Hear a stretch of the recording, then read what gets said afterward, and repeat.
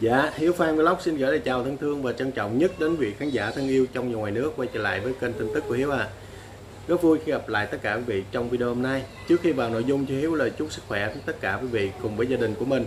Lúc nào cũng có thật nhiều sức khỏe, thân tâm an lạc và gia đình hạnh phúc ạ. À. Và sau đây là nội dung chi tiết, Hiếu mời quý vị cùng đến với phần chia sẻ của Hiếu ạ. À. Dạ, xin kính thưa quý vị khán giả đến với nội dung trong buổi sáng hôm nay thì Hiếu tiếp tục cập nhật câu chuyện của Thiền Am để gửi đến cho quý vị được biết. Đây là thông tin mới nhất mà Hiếu vừa cập nhật được ở trên trang báo tin tức nhanh 24 giờ thưa quý vị. Thì trang báo này trích của bà Nguyễn Phương Hằng chia sẻ lại. Thì à, nội dung của thông tin này thì à, Hiếu cũng xin truyền tải cho quý vị rõ ràng tường tận bài báo này viết như thế nào và chúng ta cùng phân tích và ngẫm lại nha quý vị xem là có đúng hay không nha. Chứ hiếu thấy bài báo này chia sẻ như thế này thì làm cho mọi người nghe mọi người hơi bị sốc.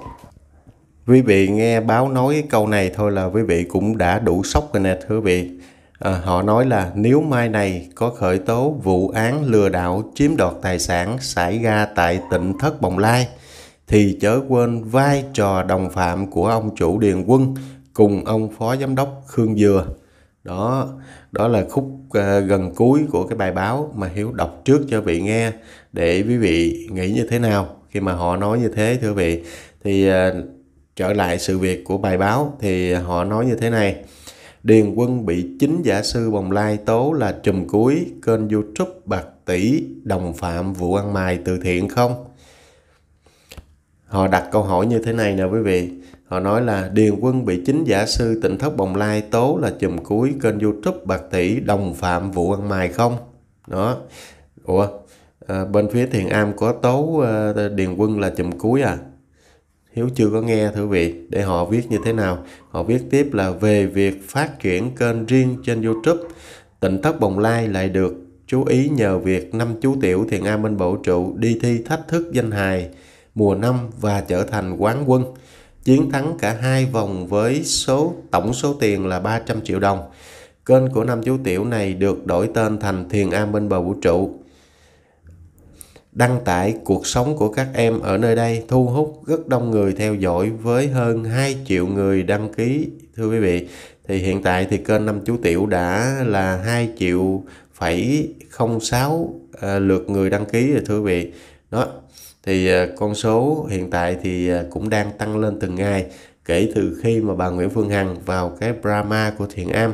Thì được quý vị khán giả yêu mến Thiện Am nhiều hơn dù cho à, bà Nguyễn Phương Hằng có trù dập cũng như là chửi bới xúc phạm họ như thế nào đi nữa thì khán giả cũng không có quay lưng với Thiện Am. Theo Hiếu thấy là như vậy và càng yêu mến các bé ở nơi đây nhiều hơn nữa thưa quý vị. Thì báo viết tiếp như thế này thế này. À, báo nói là Điều đáng chú ý nếu trước đây ở phần giới thiệu của kênh Năm Chú Tiểu có để lại thông tin số điện thoại, số tài khoản để quyên góp, tài trợ cho các chú tiểu thì mới đây những thông tin này đã bị xóa sạch. Tầm bậy, đây là báo nói sai hoàn toàn. Cái này là Hiếu sẽ phản biện lại thưa vị và Hiếu cũng sẽ để cái thông tin ờ, trong phần giới thiệu của kênh năm chú tiểu trên màn hình cho quý vị được thấy là họ không có xóa bất cứ một cái gì hết, thưa quý vị. Tài khoản vẫn còn để nè, số tài khoản ngân hàng vẫn còn để, số điện thoại của các thầy vẫn còn để luôn, thưa quý vị. Chứ không có xóa như như những gì mà báo nói nha. Những thông tin chi tiết ở trong phần giới thiệu của kênh năm chú tiểu vẫn còn giữ nguyên và không có thay đổi cũng như là không có xóa.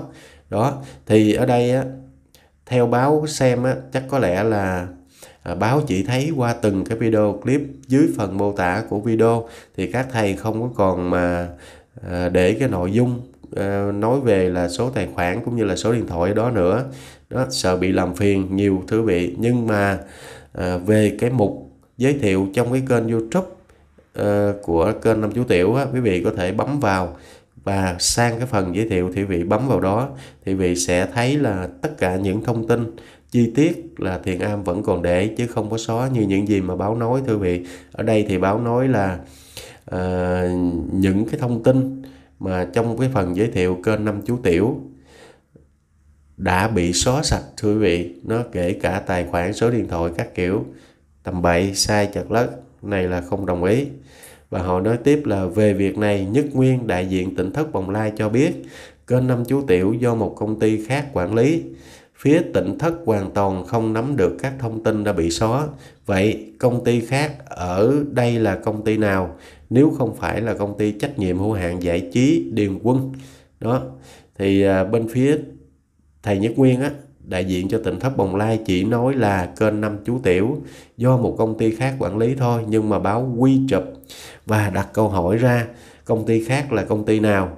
Và họ còn nghi ngờ công ty đó có phải là công ty trách nhiệm hữu hạn giải trí Điền Quân hay không. Đó thì muốn quy chụp là ông Coleman vào trong cái sự việc này thưa vị.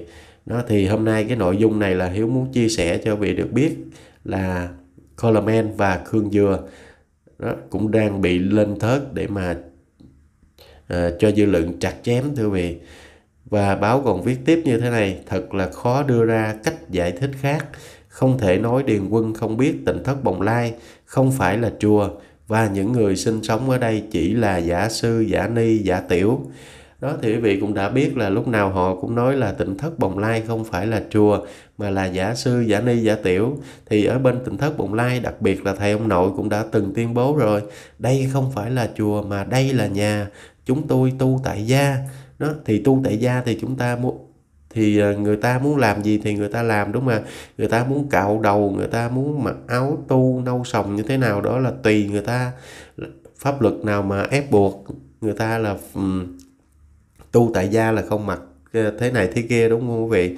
Đó là chỉ là trang phục thôi quan trọng là cái tâm của mình chứ cái dáng vẻ bề ngoài có ờ, là gì?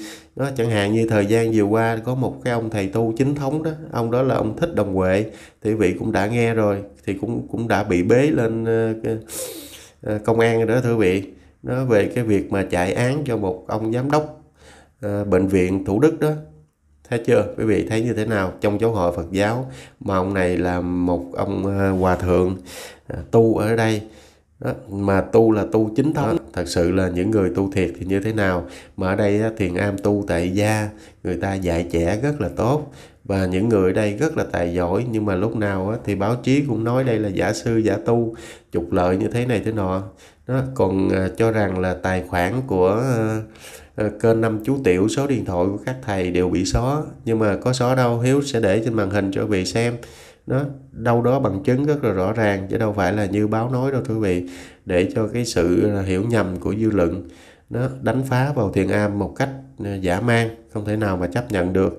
Thì họ còn nói tiếp như thế này, trước khi có chương trình thách thức danh hài mùa năm 2018 và mùa 6 2019 thì Tiểu Nico quyền chân đã dính lùm xùm ở cuộc thi The Voice Younger năm 2014 xảy ra cuộc tranh cãi giữa Quang Lê và Phi Nhung.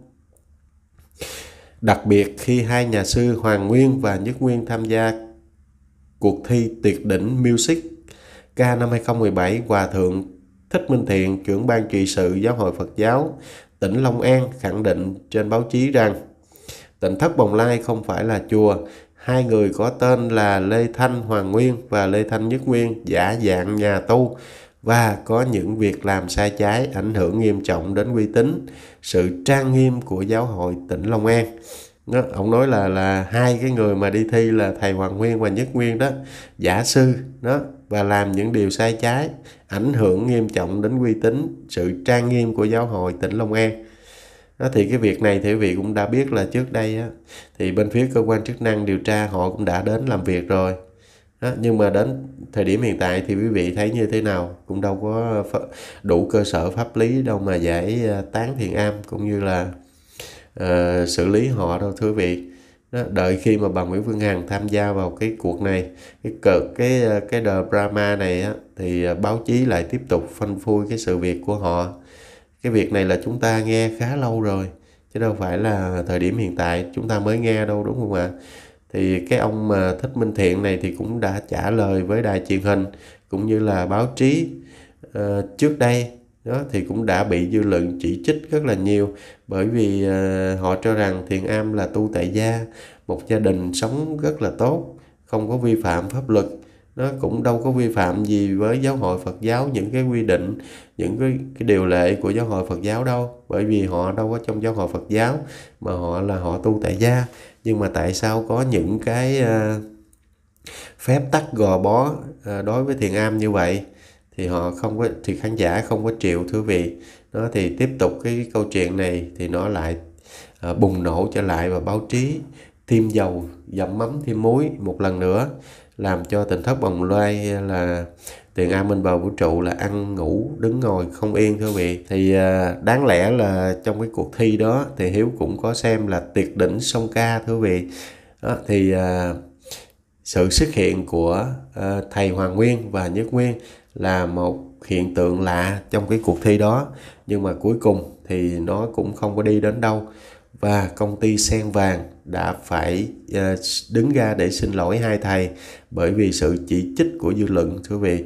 Và họ cho rằng à, dư luận chỉ trích là do thầy Hoàng Nguyên và Nhất Nguyên là người tu mà tại sao là đi thi cái cuộc thi này. Đó để đầu trọc như thế này thế nọ mặc áo nâu sòng uh, của nhà Phật để mà đi thi thì không có được.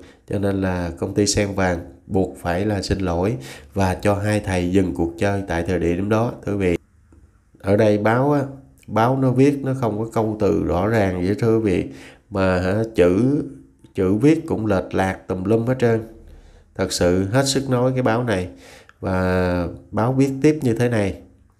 Với sự tham gia của năm chú tiểu đến từ chùa Bồng Lai qua tay chùm truyền thông Điền Quân năm cháu bé được truyền thông rộng rãi là năm chú tiểu mồ côi được kêu mang bởi Hòa Thượng Thích Tâm Phúc, tên thật là Lê Tùng Vân. Cùng những thành viên sống tại tỉnh thất này đều là sư thầy, sư cô, chú tiểu. Và họ còn nói tiếp là sức mạnh của chùm truyền thông Điền Quân làm ác đi những phản đối, kể cả bằng văn bản của Giáo hội Phật giáo tỉnh Long An. Cho đến giờ báo chí vẫn còn lưu những bài viết vụ lùm xùm này. Nhiều người đã kiến nghị dừng phát sóng, tuy vậy Điền Quân vẫn lớn tiếng trên báo chí.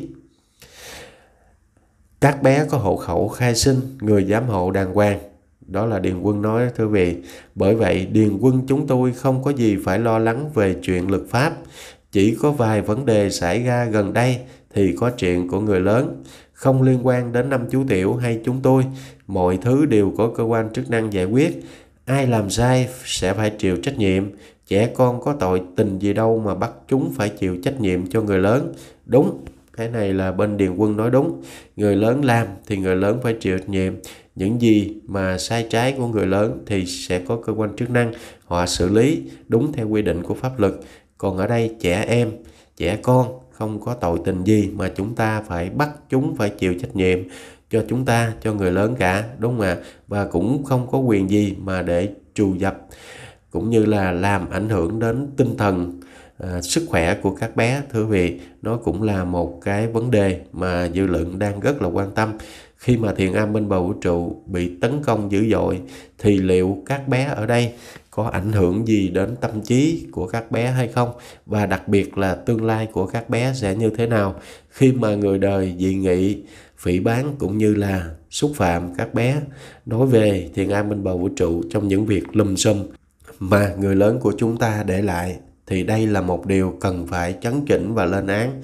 Rất cần mọi người phải có một cái tấm lòng nhìn nhận cái sự việc của nó vì tương lai của các bé, đặc biệt là các bé ở bên thiền am vũ trụ. Thưa quý vị, đó là những gì mà hiếu à, muốn nói đến những ai mà đang chỉ trích thiền am bên bầu trụ hãy nghĩ lại cho tương lai của các bé. Và báo còn viết tiếp như thế này. Đó, tại thời điểm thách thức tranh hài mùa 6 năm 2019 chưa có ai được tận mắt nhìn thấy tấm giấy chứng sinh, giấy khai sinh của năm bé, ngoài ông Điền Quân và những người trong thiền am trên giấy chứng sinh, giấy khai sinh đều ghi rõ họ tên người mẹ. Ấy vậy mà ông Điền Quân vẫn khẳng định các bé là trẻ mồ côi. Dù đã biết tỉnh thất bồng lai không phải là chùa, nhưng Điền Quân vẫn khẳng định năm cháu bé là năm chú tiểu. Đài phát thanh truyền hình thành phố Hồ Chí Minh HTV vẫn tiếp tục chiếu các phóng sự về năm chú tiểu. Là bên phía Thiền Am họ cũng đã nói rồi. Các cô ở đây là mẹ của các bé trên mặt giấy tờ thôi thì bên phía Điền Quân thì họ cũng chiếu theo cái sự việc này, và họ cho các bé đây là trẻ mồ côi là đúng rồi. Có gì đâu mà bàn cãi, đúng không ạ? À? Thì họ còn nói như thế này ngoài ra ông chủ điền quân cùng với à, phó cùng với Phó Tổng Giám đốc Khương Dừa không ít lần về tỉnh thất Bồng Lai quay các video clip quảng bá lừa đảo về hoa ưu đàm hoặc tu liền thành Phật và các phép lạ của tỉnh thất Bồng Lai. Tất cả những bằng chứng nêu trên hoàn toàn có quyền hoài nghi Điền Quân cố ý cùng tỉnh thất Bồng Lai lừa đảo. Ê cha, không biết ông Điền Quân ổng ờ, ổng xem được cái bài báo này cũng như là nghe được cái thông tin này thì ổng trả lời như thế nào đây?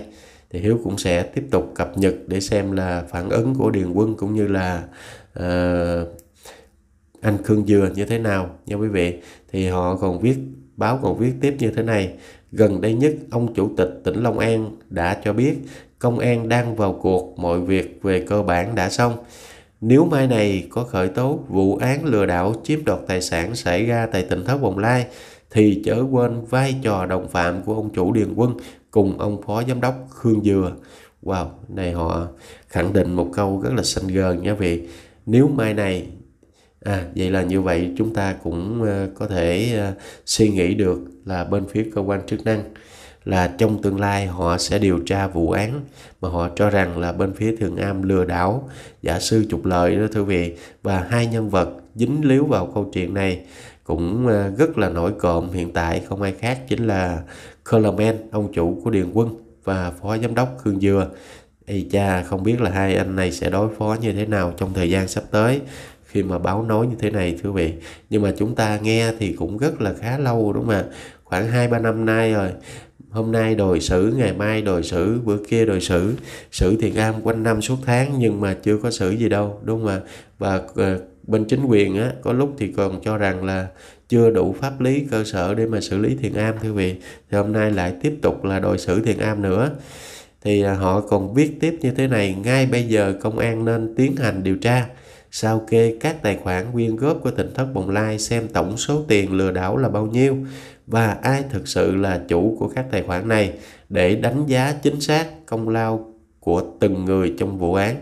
Đó, thì hiện tại thì à, ở đây à, lúc đầu à, thì họ nghi ngờ là công ty Điền Quân. Nhưng mà khúc khúc sau này, á, thì họ nói là công an nên tiến hành điều tra để mà biết là tài khoản của kênh năm chú Triểu. Ai đã đứng phía sau? Đó ai là đứng phía sau và ai đã làm chủ cái tài khoản này? Để đánh giá cho chính xác thì thì đây chỉ là một cái hoài nghi thôi thưa vị. Nhưng nó chưa có sự thật là rõ ràng. Đó cho nên là à, là không có thể nào mà quy chụp là bên phía Coleman ông chủ Điền Quân cũng như là Khương Dừa là đứng sau cái cái chủ tài khoản của kênh YouTube năm chú Tiểu thưa vị. Và lúc nào họ cũng cho rằng hai con người này là đồng phạm với Thiền an Minh Bảo Trụ đi lừa đảo à, cộng đồng đi lừa đảo tiền của Mạnh Thường Quân để mà trục lợi. Đó thì à, cái gì cũng vậy. Chúng ta đang sống trong một đất nước có pháp luật thì chúng ta hãy để cho pháp luật điều tra và xử lý cũng như là đưa ra một câu trả lời. Đó chứ Hiếu rất mong là vị khán giả nghe cái bài báo này thì quý vị đưa ra cái quan điểm của mình một cách khách quan nhất, thưa vị. Đó, bởi vì chưa có câu trả lời à, chính xác từ bên phía cơ quan chức năng và cũng chưa có xử lý tiền am hay là xử lý bất cứ à, những người nào mà có liên quan. Như là báo chí nói thì chúng ta không có được quy chụp họ, chúng ta không có thể nào mà cầm đèn chạy trước ô tô được, thưa vị thì thời gian sẽ trả lời cho chúng ta được biết là thiền am có giả sư trục lợi hay không có lợi dụng trẻ mồ côi hay không và có liên quan gì với công ty điền quân và khương dừa hay không thì uh, thời gian sẽ trả lời thưa vị đó. còn bây giờ thì uh, video cũng hơi dài cho hiếu xin tạm dừng ở đây và tất cả những thông tin có liên quan đến bà Nguyễn Phương Hằng cũng như là bên phía Thiền An Minh Bầu Trụ thì Hiếu vẫn tiếp tục hàng ngày cập nhật để gửi đến cho vị được biết sớm nhất và nắm rõ thông tin uh, nhanh nhất nha quý vị. Rất mong là vị khi xem tiện tay để lại một đăng ký một like và một chia sẻ để ủng hộ cho kênh Hiếu Phan ngày càng phát triển mạnh mẽ hơn. Hiếu xin chân thành cảm ơn quý vị rất là nhiều. Một lần nữa kính chúc quý vị cùng với gia đình của mình lúc nào cũng có thật nhiều sức khỏe, thân tâm an lạc và gia đình hạnh phúc. Còn bây giờ Hiếu xin kính chào tạm biệt. Bye bye, see you next time. I love you all.